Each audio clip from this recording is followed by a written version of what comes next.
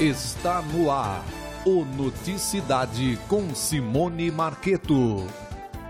Olá, boa noite. Salários e vale alimentação pagos. Com essa definição, terminou nesta tarde a greve das empresas de ônibus em Itu. Mas durante todo o dia, quem precisou do serviço teve que ter muita paciência. Pela manhã, aproximadamente 70 funcionários da Aviação Itu, Avante e VB Campinas permaneceram em frente à garagem que atende às empresas. Segundo os trabalhadores, 100% da frota de ônibus e parte dos veículos que fazem a linha intermunicipal estiveram parados. Aproximadamente 50 mil pessoas utilizam transporte público em Itu. E quem chegou ao terminal rodoviário da cidade encontrou ele assim, de portas fechadas. Dona Maria recebeu no local a notícia que não poderia ir ao centro realizar o recadastramento da aposentadoria do marido. Pelo Rio de Coco eu fiquei sem meu dinheiro. Eu ia lá hoje para fazer o recadastramento e pegar o dinheiro. Mas ele não tem, essa greve do, do ônibus atrapalha. E agora? E agora tem que ligar para meus filhos para mandar dinheiro para mim. Olha, uma clínica de tratamento para dependentes químicos foi fechada em Jumirim. A Polícia Civil de Tietê, que investiga o caso, disse que a vigilância sanitária interditou o local, pois não havia alvará de funcionamento. Os responsáveis prestaram depoimento e vão responder uma ação civil pública que foi encaminhada ao Ministério Público. Os seis pacientes que estavam internados foram levados a uma clínica em Laranjal Paulista. 800 caixas com cigarros contrabandeados do Paraguai foram apreendidas dentro de um caminhão em Tapetininga. Segundo a Polícia Militar, o caminhoneiro tentou fugir e seguiu na direção do bairro Sotemo. Ele não obedeceu o sinal de parada da polícia e houve perseguição. Dois homens foram detidos. A ocorrência está sendo apresentada agora na Polícia Federal de Sorocaba. O empresário foi preso dentro de um spa em Sorocaba. De acordo com o boletim de ocorrência, ele era procurado pela polícia de Londrina, no Paraná.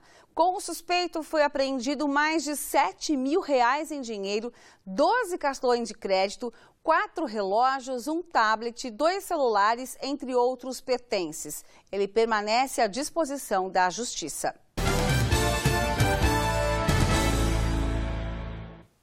A cada dia, o combate à corrupção no Brasil ganha mais adeptos. O tema é frequentemente debatido entre a sociedade organizada.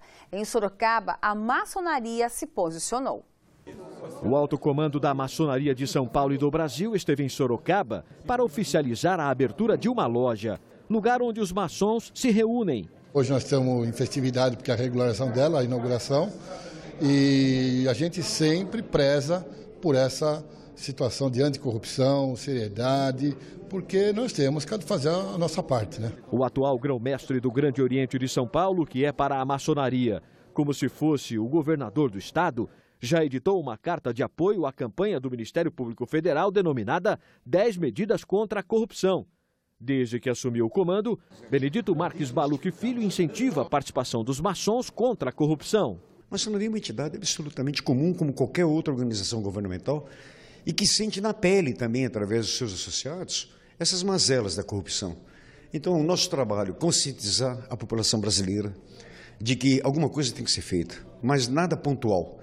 Além da maçonaria de Sorocaba, o movimento 10 Medidas contra a Corrupção já ganhou adesão do CIESP e outras entidades da sociedade civil na cidade. Todos nós sabemos o que está acontecendo com a Petrobras, não sabemos o que está acontecendo com as outras instituições do governo, então nós achamos que nós juntos vamos fazer com que o Brasil seja, volte a ser o que era. Olha, agora eu tenho uma notícia muito triste. Começa daqui a pouco o velório do jornalista e publicitário Rui Albuquerque Martins, que morreu hoje em Sorocaba. Rui era colunista e colaborador de diversos jornais. Além disso, ele atuava no ramo de assessoria de imprensa.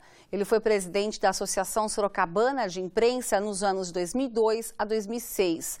O velório será na UCEL do Jardim Simos a partir das oito e meia da noite e será cremado no, no Memorial Parque amanhã às três horas da tarde. Deixa muita saudade.